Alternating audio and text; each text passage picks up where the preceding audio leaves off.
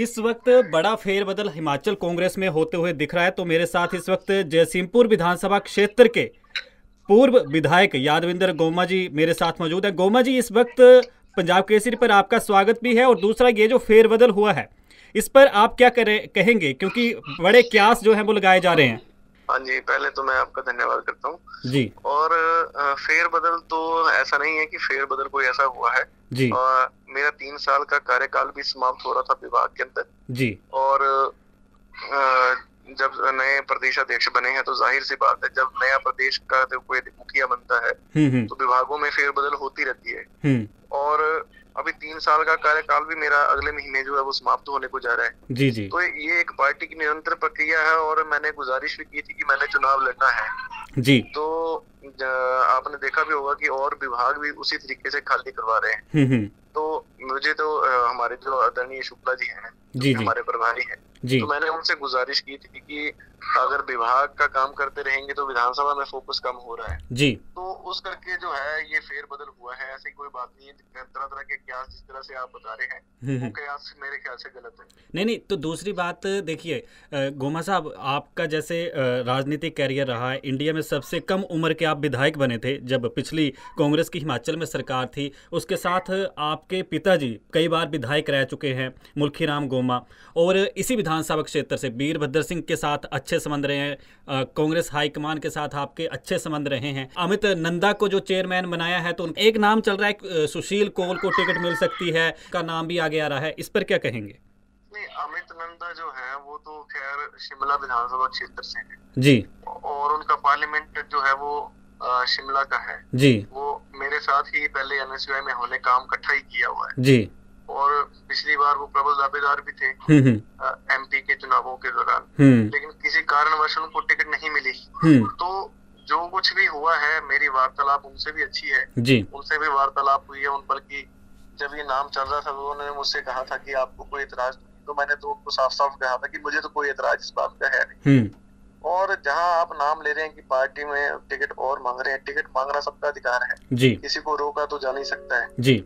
और यही नहीं है कि हमारे क्षेत्र में टिकट मांग रहे हैं हर विधानसभा क्षेत्र में आज अगर आप हालात देखें तो सब जगह वहाँ पर जो है टिकटार्थियों की लाइन लगी हुई है। जी। पर देखना तो आला कमान ने और पार्टी ने है कि किसको टिकट देनी है कौन जीत जीतने का क्षमता रखता है। हम्म।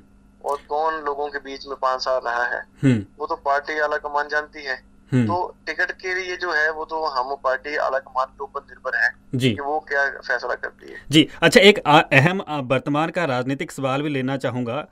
कुछ ही घंटे हुए हैं रवि साहब आपके गृह क्षेत्र में पहुँचते हैं पंचरुखी में सीएम साहब भी आते हैं, उससे पहले पत्रकारों से मुखातिब होते हैं और रवि साहब का ये बयान ऑन रिकॉर्ड पड़ा है कि मैं पत्रकारों से ज़्यादा बातचीत नहीं करता और जब दौरा था तभी पत्रकारों से बातचीत की गई तो जो स्थानीय हालात हैं, उस पर क्या आप कहेंगे देखिए, जो है मेरे को तो खैर आपके माध्यम से ये पता लगा कि उन्होंने ऐसी।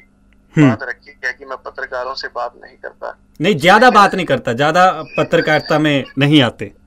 ज़्यादा बात इसलिए नहीं करता क्योंकि वो अपनी नाकामियों को छुपा रहे हैं। जी। मैं अगर आपको उदाहरण दूँ तो पीछे जब मुख्यमंत्री जी का दौरा था हम्म हम्म, तो उससे पहले उन्होंने यहाँ पर प्रेस ब्रीफिंग की। जी। तो कुछ सवाल ऐसे थे जो जनमानस के थे हम्म। और जो काम धरातल पे नहीं हुए। हम्म। कुछ ऐसी बातें थी जो उनके चुनावी वायदे थे जो नहीं हो सके। हम्म। तो उस समय जब पत्रकार बंधुओं ने जो है क्वेश्चन पूछा तो उन्होंने हाथ जोड़ लिए और कहा कि मैं आपसे इस बात की माफ़ी माँगता हूँ। हम्म। अब कोई इतना सा बड़े से बड़ा भी पापी होता है अगर कोई माफ़ी मांग ले तो दूसरा व्यक्ति जो होता है उसको माफ़ कर देता है। हम्म। तो जब आपके पत्रकार बंधुओं से जब उन्होंने कहा हम्म। कोई सवाल ऐसे पूछे कटाक्ष पूछा जो कोई तीखे सवाल पूछे तो जब उन्होंने जवाब उनसे नहीं दिया जा सका तो उन्होंने सीधे हाथ जोड़ दिए और कहा कि मैं आपसे इस बात के लिए माफ़ी चाहता हूँ। अगला क्वेश्चन पूछे। जबकि यहाँ जब प्रोग्राम हुआ तो सारे पत्रकार बंधु मेरे पास यहाँ पे आए हुए थे इलेक्ट्रॉनिक और प्रिंट मीडिया के। जी। तो मैंने उनसे गुजारिश की मैंने बोला कि आपने ये बात से क्यों नहीं ज़ाहिर की? बोलते थे कि उन्होंने पहले ही हाथ जोड़ दिए। हम्म। आगे तो पूछने और जवाब लेने का जो मतलब था वो तो रहता ही नहीं है। हम्म। जब बंदे ने क्षमा ही मांग ली तो उसके आगे मैं हम उसके ज़्यादा सवाल क्या पूछते? हम्म। तो जिस तरीके से यहाँ पर प्रोग्राम हुआ। हम्म। तो उसमें जो है उनकी अगर आप कहें कि मतलब पत्रकारों से बात नहीं की जिस तरीके से ज़्यादा बात वो ज़ाहिर सी बात है कि अपनी नाकामियों को छुपाने के लिए जो है ऐसा काम किया। हाँ जी। चलो अच्छा मैं मुल्खीराम गोमा साहब जी का राजनीतिक कैरियर रहा तो उस तरीके से बात एक पूछना चाहूँगा अहम। भाजपा कह रही है कि शिखर की ओर हिमाचल है। रिवाज बदलेंगे। तो आप भी आ, सियासी परिवार से हैं इतने दशकों से राजनीति को देख रहे हैं और विक्रमादित्य का नाम जहाँ पर चर्चा में चलता है तो यादविंदर गोमा का नाम भी वैसे ही चर्चा में चलता है। तो आपको क्या लगता है कि रिवाज बदला जाएगा या रोटेशन सिस्टम ही रहेगा? देखिए जिस तरह से भारतीय जनता पार्टी के वर्कर कह रहे हैं कि और नेतागण कह रहे हैं कि शिखर की ओर हिमाचल। जी। लेकिन शिखर किस ओर जा रहा है? हम्म। और किस और शिखर को लेके गए हैं। हम्म। अगर आज आप पूरे ही प्रदेश में देखें हम्म। बेरोजगारी जो है लगभग आठ से दस लाख रुपए दस लाख युवा जो हमारे बेरोजगार बैठे हैं। कोई रोज़गार की बात नहीं करता है। कोई नए संस्थान हमारे विधानसभा में कह लें चाहे ज़िले में कह लें वहाँ पर खोलने के प्रयास नहीं किया रहे जिला कांगड़ा से बड़े बड़े कराले जो है जिला मंडी में लेके चले गए। हम्म। और जिस तरीके से अभी हाल ही में प्रधानमंत्री दो बार हिमाचल प्रदेश का दौरा किया। हम्म। और जिस तरीके से लोग उमड़े हम्म। हर विधानसभा क्षेत्र से लोग गए। लोगों को भी आस थी कि कुछ ना कुछ जो है हिमाचल प्रदेश को मिलेगा। जी। हमारे बच्चों को हमारे युवाओं को रोज़गार के संसाधनों की वो घोषणा करेंगे। लेकिन ऐसा तो कुछ नहीं हुआ। जब पूरे देश का मुखिया प्रदेश में आ रहा है हम्म। तो हर किसी को आस होती है चाहे वो हमारा मध्यम वर्ग हो चाहे निचला वर्ग हो हम्म। या कोई आ, हमारा उद्योगी हो हम्म। लेकिन ऐसी बात तो कोई हुई नहीं और साढ़े चार साल में जिस तरीके से इन्होंने सारा कुछ जो है सिर्फ़ दो विधानसभा क्षेत्र हैं हिमाचल प्रदेश में जहाँ पर पैसे जो है वो पानी की तरह बहाये विकास के लिए हम्म। जो भी अपॉइंटमेंट हुई उन दो विधानसभा क्षेत्रों में हुई। तो किस और शिखर की ओर जो है हिमाचल जा रहा है शिखर की ओर तो सिर्फ़ दो विधानसभा क्षेत्र जो है। ये पूरा हिमाचल प्रदेश जो है बन के रह गया है। जी।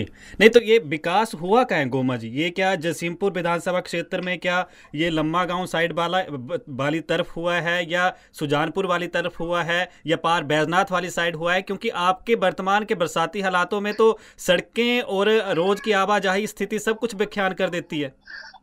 देखिए जिस तरीके से विकास की बात की जाए तो भारतीय जनता पार्टी का तो ऐसा मूल मंत्र है हम्म। कि अगर किसी के मतलब रूटीन प्रोसेस में अगर ट्रांसफार्मर भी लगता है तो लोगों को इस तरह दर्शाया जाता है कि इससे पहले शायद ट्रांसफार्मर ही नहीं था हम्म। तो इनके जो मेरी सूचना प्रसार में तो इतने अव्वल नंबर पे आते हैं हम्म। और जिस तरीके से अगर विकास की बात करें। तो भारतीय जनता पार्टी के विधायक तो जो है दो साल तो कोरोना कोरोना रोते रहते हैं जी। कि हमें दो साल नहीं मिले। हम्म। और पिछले हमारे कार्यकाल के समय के जो काम थे उन लोगों के ऊपर आज ये अपनी पट्टिकाएँ और शिलान्यास और उद्घाटन करे जा रहे हैं। अपने वस्तु स्थिति जो इन्होंने यहाँ पर प्रोजेक्ट लाए हैं अब मैं हाल ही में आपको उदाहरण दूँगा जी। कि जब मुख्यमंत्री जी पंचरुखी में यहाँ पर जनसभा को संबोधित किया हम्म। और उसमें बीडीओ लंबा गाँव और जो हमारा हॉस्पिटल सिविल है जसीमपुर का हम्म। उन दोनों भवनों का उद्घाटन किया जबकि वो हमारे कार्यकाल के प्रोजेक्ट चले हुए थे हम्म। जब उसका उद्घाटन हुआ तो लेकिन वस्तु स्थिति ये थी कि वहाँ पर काम अभी निरंतर प्रक्रिया में चला हुआ था अभी वहाँ पर टाइल वर्क का काम चला हुआ था दरवाजों के काम चले हुए थे खिड़कियों के काम चले हुए थे हम्म। तो ना जाने इन्होंने किस आनंद फानन में आकर जो है हम्म। इन कामों को कामों का जो है उद्घाटन करवा दिया। जी। अच्छा गोमा साहब मेरे मेरे पास एक वक्त की भी थोड़ी सी कमी है एक छोटा सा अंतिम सवाल लूँगा। क्या कहीं ऐसा तो नहीं क्योंकि हिमाचल में कई सालों से सत्ता परिवर्तन होता है पाँच साल भाजपा सरकार राज करती है पाँच साल बाद कांग्रेस। तो क्या ऐसा तो नहीं कि जयसिंहपुर बस स्टैंड से लेके पंचरुखी आपके यहाँ तक का विधानसभा क्षेत्र या रोपड़ी कोसरी का जो इलाका है वहाँ का क्षेत्र ऐसा है कि पाँच साल भाजपा वाले विधायक ने विकास करवा लिया उसके बाद गोमा साहब आएँगे तो वो वो विकास करवा लेंगे या कांग्रेस का कोई और? देखिए विकास जो है वो एक निरंतर प्रक्रिया है। जी। चाहे वो विधायक भाजपा का बने चाहे कांग्रेस का बने। हम्म। विकास जो है और लोगों की मांग जनमानस की मांगे और उनके काम जो है वो तो कभी खत्म नहीं हो सकते हम्म। मतलब आज अगर कच्ची सड़क है तो कल को पक्की भी चाहिए उसके ऊपर फिर पक्की के बाद बस भी चाहिए हम्म। तो ये एक निरंतर प्रक्रिया है और जिस तरीके से भारतीय जनता पार्टी के विधायक ने काम किए हैं वो करे होंगे जब हमारा समय हमारा वक्त आएगा हमारी सरकार आएगी मैं यहाँ से विधायक बनूँगा तो हम्म। लोगों के और भी जो काम होंगे जो उनकी उम्मीदें हैं उनकी उपेक्षा है हम्म। उसके अनुरूप जो है हम उस काम को धरातल पर अपनी ओर से लाने का प्रयास करेंगे जी चलिए गोमा साहब हमारे साथ बातचीत करने के लिए बहुत बहुत धन्यवाद जी